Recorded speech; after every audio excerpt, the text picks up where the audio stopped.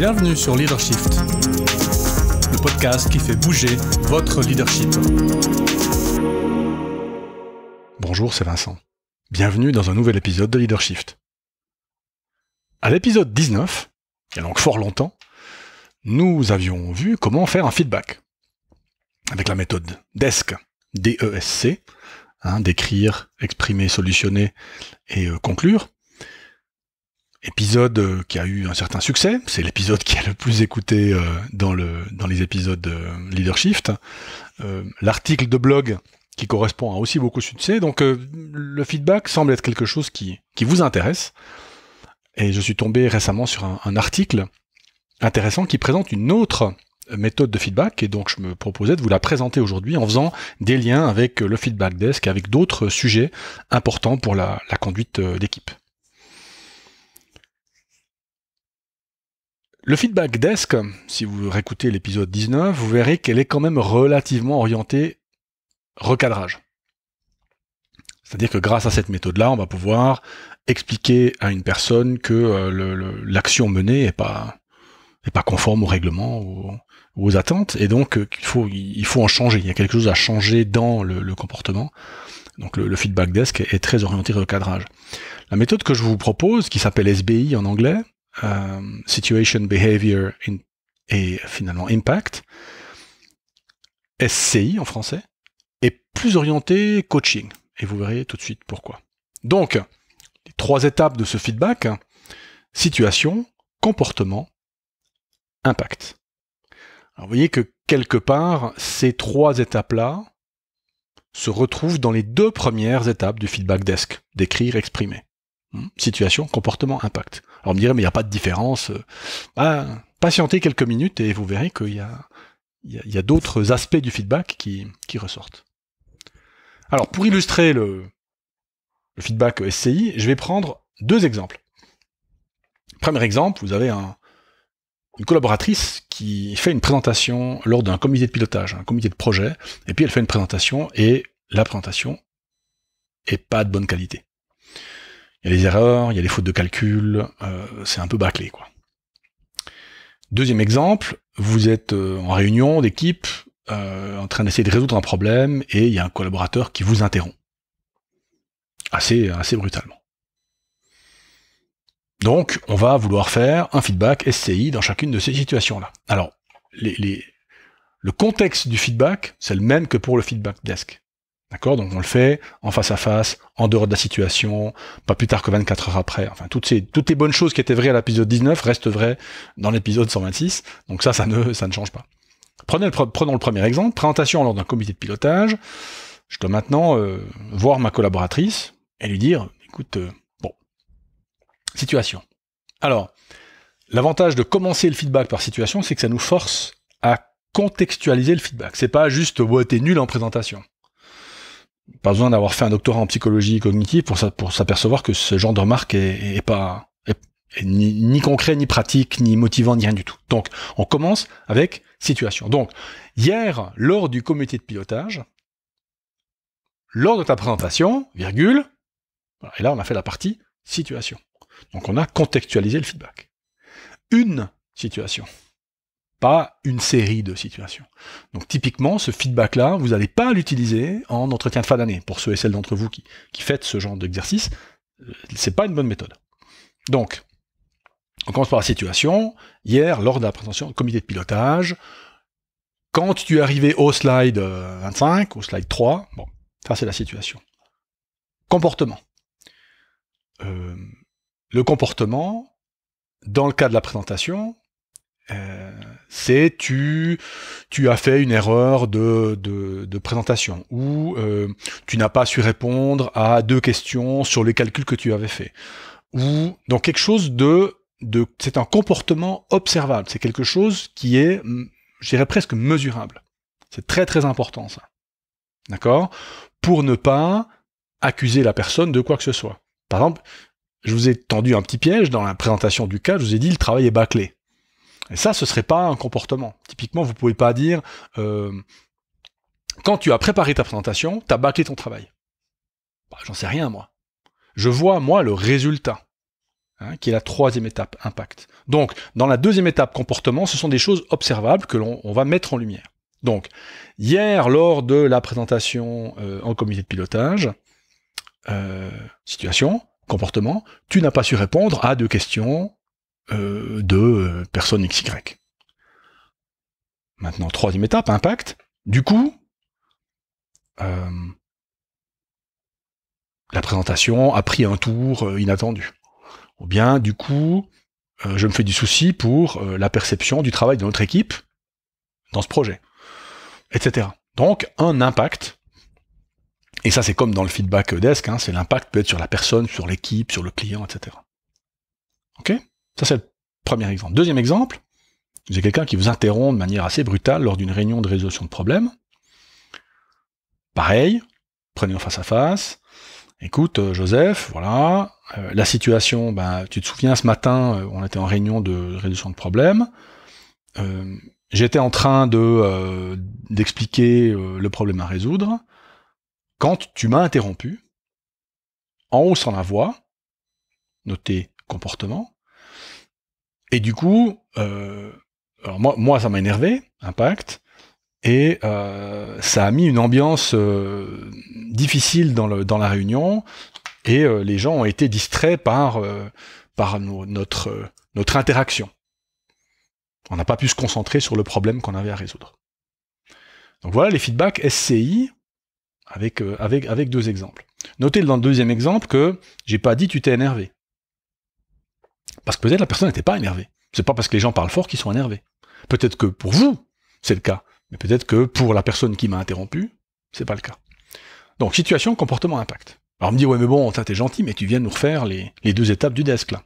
Oui, mais la magie vient ensuite. Parce qu'en fait, le modèle et je vous mets l'article hein, euh, dans les notes du podcast. Ils disent très clairement que c'est ensuite, il y a une question à poser, une fois qu'on a fait SCI, et la question, c'est la question de l'intention. Et c'est ça en fait qui va débloquer et développer du coup euh, une solution pour le problème. Et moi j'ai rajouté en fait une petite étape, parce que j'aime bien euh, m'approprier les outils, on va pas seulement parler de l'intention, mais on va aussi parler de nos attentes. Et il faut aligner l'intention du collaborateur ou de la collaboratrice avec notre attente. Et donc, on fait le feedback SCI dans cet ordre-là, et ensuite, on pose une question, et on dit, mais tu cherchais quoi? Quelle est ton intention? Quelle était ton intention? Parce que mes attentes étaient de, etc., etc. Donc, posez la question d'intention et clarifiez nos attentes. Alors, si on reprend nos deux exemples, lors de la présentation, quelle était ton intention? Ben, euh, faire vite, parce que bon, c'est pas très important cette présentation. D'où les erreurs, d'où euh, pas possible de répondre aux questions. Ça, c'est l'intention de, de la collaboratrice. Et comparer ça avec mes attentes, c'est un comité de pilotage avec la direction, donc c'est important. Donc là, vous voyez qu'il y avait un manque d'alignement entre son intention et mon attente. Alors, il n'y a pas de coupable, euh, il faut que ces deux soient alignés. Alors est-ce que ça veut dire que moi je dois exprimer mon attente plus clairement? Et c'est souvent le cas. Les managers, c'est clair dans votre tête, ben, un comité de pilotage avec direction, c'est évident que c'est important. Ben, la personne, dans sa perception à elle, par rapport à son cahier des charges, par rapport à sa charge de travail, par rapport à son stress, par rapport à que sais-je, peut-être que c'est passé dans le dessous de la pile. Donc, rappelez l'attente. Donc, intention, attente. Attention, faire vite parce que pas important. Attente, important parce que comité de pilotage avec la direction. Dans le cas de l'interruption, lors d'un réunion l'équipe, intention de la personne. Ah mais je voulais t'alerter sur le fait qu'on avait un gros risque potentiel euh, et qu'il fallait absolument qu'on s'en occupe. Mon attente, résoudre le problème. Est-ce que son intention est aligné avec mon attente? Oui. Dans le deuxième cas, qui paraît pourtant clairement comme quelque chose à corriger, mais on corrige quoi? Dans ce cas-là, c'est pas l'attente, c'est pas, pas pardon, c'est pas l'intention, pardon, qui est à corriger, puisque l'intention, elle est alignée avec l'attente. Donc dans le premier exemple, la présentation, le fond n'est pas bon. C'est-à-dire que la personne n'a pas compris l'impact potentiel de son intention. Donc vous voyez qu'on essaye de mettre en lien pour la personne dans sa tête son intention avec l'impact. Ton intention était de faire ça, et voilà l'impact que ça a eu. Pour l'exemple 2, c'est le contraire, c'est-à-dire que l'intention était alignée sur les attentes. Par contre, la forme n'était pas bonne. Ok Alors, vous me dire, donc, ce feedback se centre sur l'intention de la personne. Alors peut-être que vous imaginez déjà faire ce genre de feedback à certains de vos collaborateurs ou de vos collaboratrices, et vous dites, mais s'il n'y a pas d'attention, je fais quoi? Je pose la question, je dis, euh, euh, bah, qu'est-ce que tu voulais? Euh, sais rien. Il y a toujours une intention. Donc l'idée, c'est là où, en fait, euh, cette approche du feedback est plus orientée coaching, c'est parce que vous allez faire émerger cette intention, donc vous allez faire prendre conscience à la personne de l'intention qu'elle avait, avec des questions. La première question évidente que, j'ai déjà posée, c'est quelle était ton intention? Mais deux autres questions euh, qui peuvent être intéressantes, c'est qu'est-ce que tu essayais d'obtenir? Hmm, Qu'est-ce que tu cherchais? Quel résultat escomptais-tu? À quel résultat est-ce que tu t'attendais? Donc, mettre en lumière cette intention, c'est donner la possibilité à la personne de se rendre compte de.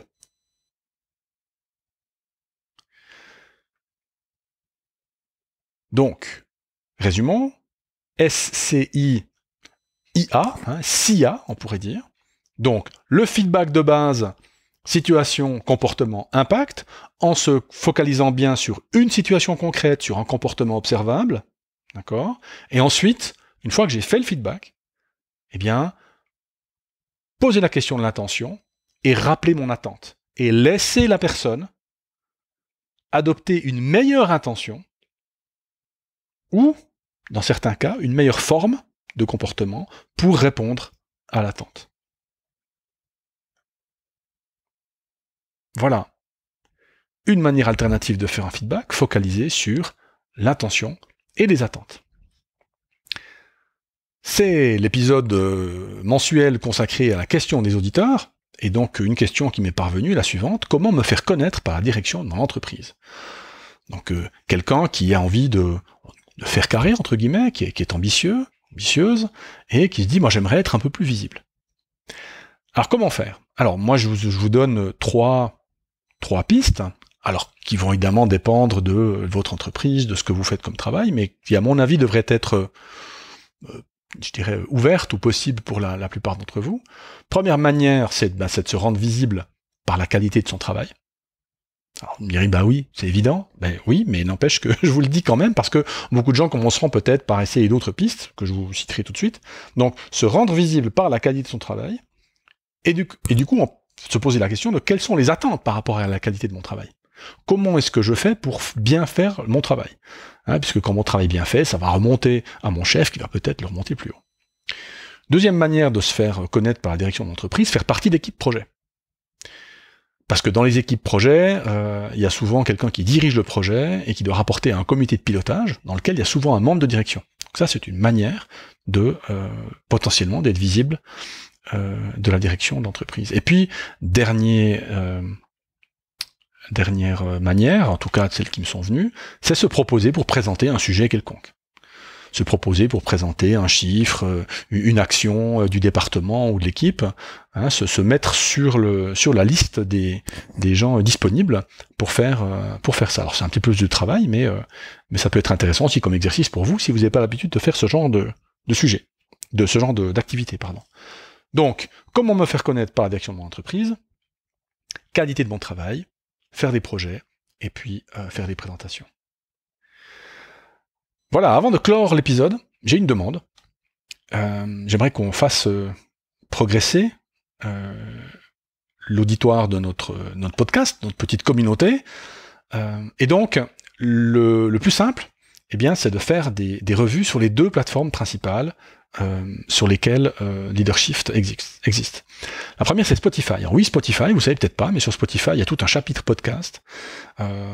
Le deuxième, c'est Apple Podcast, qui est plus connu pour ça, puis c'est dans le nom.